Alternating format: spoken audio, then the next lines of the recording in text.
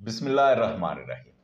अल्लाहुम्मा सल्ली अला मुहम्मदिन व अला आलि मुहम्मद, कमा अला इब्राहीम अला आलि इब्राहीम, इन्नका अला मुहम्मदिन व अला आलि मुहम्मद, कमा अला इब्राहीम व अला आलि इब्राहीम, इन्नका न्यूज़ के साथ जी तारिक बरकातहू। इस दफ़ा जल्दी आपकी खिदमत में हाजिरी हो गई। वो ताखीर जो एक तवील ताखीर हो जाया करती है, इस बार नहीं। तो इसलिए माजरत का तो सवाल नहीं होता ना जी। जब ताखीर होती है तो माजरत भी कर लेता हूँ और जब जल्दी हाजिरी, यानी वक्त पे हाजिरी हो जाती है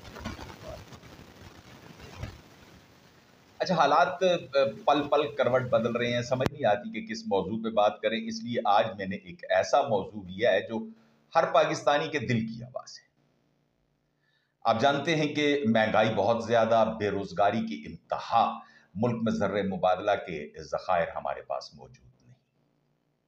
लेकिन अयाशियाँ हमारी उसी तरह चल रही हैं, जिस तरह चलती रहती हैं, जिस तरह चलती आई हैं 1900 1900 क्या जी, बल्कि पचहत्तर साल से जिस तरह हम अल्लाह तल्लो में पैसे ज़ाया किए ये तमाम मामला तो तब होने चाहिए ना जब हमारे पास वाफर मकदार में ज़खायर हों, वाफर मकदार में पैसा हो, अगर हम अयाशियों में उड़ाएँ या बिलें करते रहें तो फिर भी पैसे में कमी ना हम तो एक एक डॉलर गिन के रख रहे हैं, खुद वज़ीर आज़म शहबाज शरीफ ये फरमाते हैं जी कि आईएमएफ एक एक डॉलर के लिए एक एक शर्त मरवाने के लिए हमसे नाक की लकीरें निकलवा रहे हैं। बिल्कुल ठीक। तो मोहतरम वज़ीर आज़म साहब आपकी इज़्ज़त पाकिस्तान की इज़्ज़त, पाकिस्तान की इज़्ज़त मेरी इज़्ज़त, यानी हम सब की इज़्ज़त सांझी। तो क्यों बेइज्जती करवाने? हमारे अपने पास इतना कुछ है कि हम आईएमएफ के मोहताजी के बगैर भी ज़िंदगी बिता सकते बहुत सारे जो मीशत के मायरीन हैं, उनके साथ और फिर जो कारोबारी हजरात हैं, उनके साथ उठक बैठक होती रहती है, आपस में बात होती है तो की बात कि हर ज़िले में, पाकिस्तान के हर ज़िले में, सिर्फ़ अगर हम अपने पंजाब की बात करें तो मेरे ख्याल में सैंतीस या अड़तीस ज़िले हो गए। तीन तो बनाए थे ना जी मोहतरम, परवेज इलाई साहब ने भी, अगर वो भी मौजूद हैं, जिस तरह मरी था, जिस तरह तलागंग था।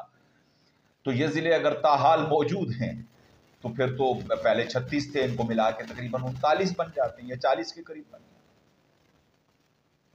हर ज़िले में आप देखें जी कि मोहतरम डिप्टी कमिश्नर साहब के लिए रिहाइश। और अगर वो डिवीज़न है तो वहाँ पर कमिश्नर साहब के लिए रिहाइश।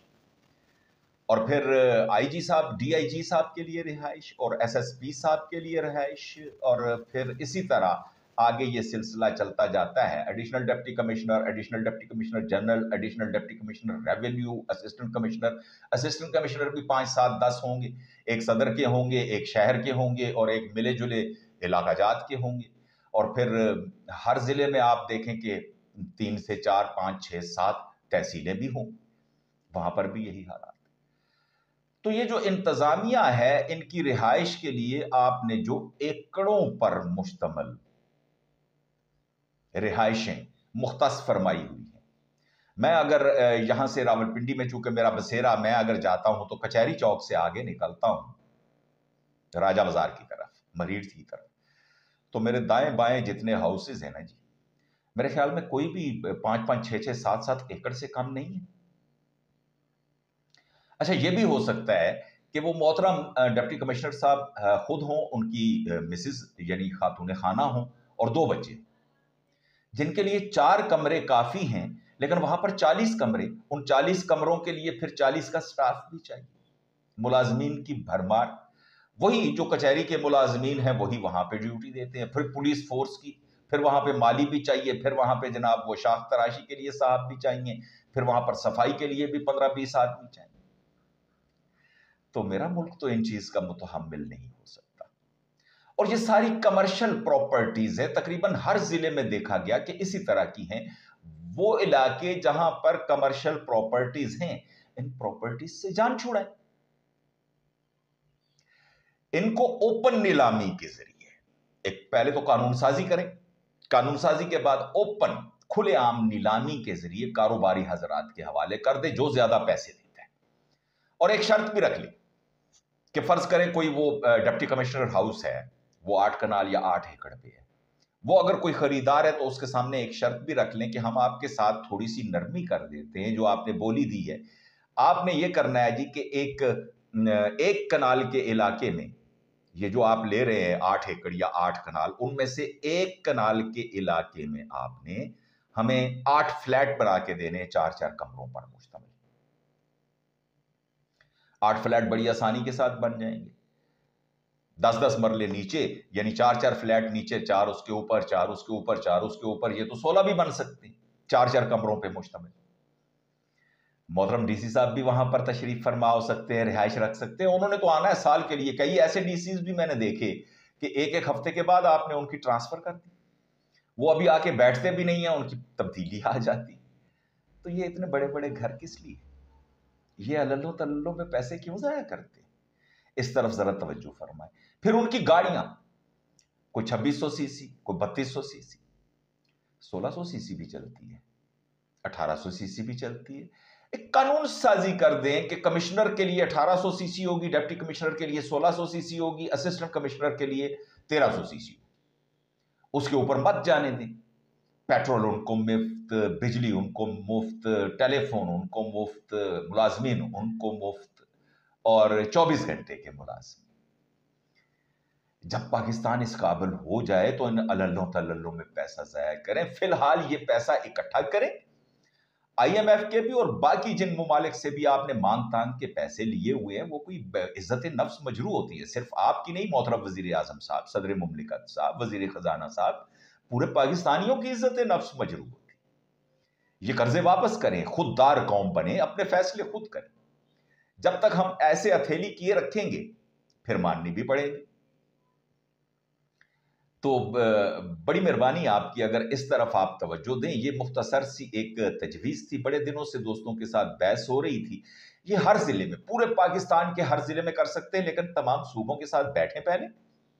उनके साथ मुशावरत करें।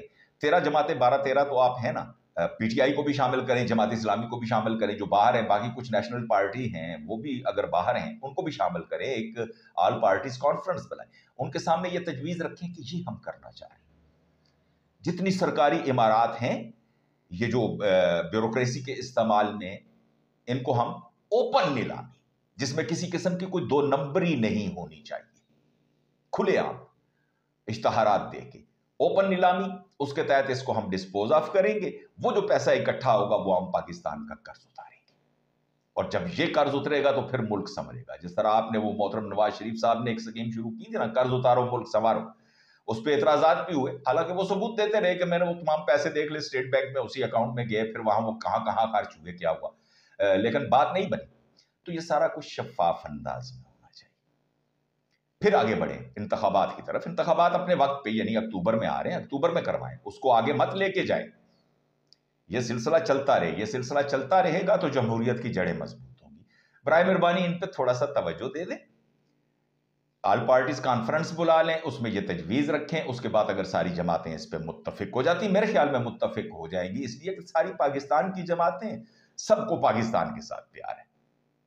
सब मुहब वतन जमातें मुख्तलिफ़ जमातों में थोड़े थोड़े टोले होते हैं, जो इंतशार पसंद होते हैं। उनका कला कमा करना कानून और आइन के मुताबिक, आइन में दिए गए कानूनी इख्तियार के मुताबिक आप करें, उसमें कोई आपको नहीं रोकेगा, कोई रुकावट नहीं लेकिन बाकी जमातों को साथ लेके चलें और इस तरह की कानून साजी करें और इन, ये प्रॉपर्टीज़ से आप जान छोड़ाएँ और मुल्क का कर्जा उतारें। बड़ी नवाजिश आपकी आप सब दोस्त जो सुन लेते हैं, उनकी भी बड़ी नवाजिश। अगर तजवीज़ पसंद आई हो, चैनल सब्सक्राइब कर लिया करें लाइक कर लिया करें और थोड़ा सा अप्रिशिएट कर दिया करें। शाबाश देंगे तो हमारी भी हौसला अफजाई हो जाया करेगी। आपका लगता क्या? पैसे तो वही लगे ना जी, जो आपने देख लिया तो वहाँ पर वो शाबाश देने में तो कुछ नहीं सब्सक्राइब करने में भी कुछ नहीं लगता। इस दुआ के साथ इजाज़त कि खुदाए बुज़ुर्ग बरतर कभी किसी दुख, किसी तकलीफ़, किसी परेशानी को ये हिम्मत न दें कि वो आपके घर की दीवार फलांग कर आपके सहन में आन बसेरा करे, वहाँ हमेशा खुशियों का राज रहे। खुश रहें और खुशियाँ तकसीम करते रहें। तारिक भट्ट को इजाज़त दें। अल्लाह हाफिज़।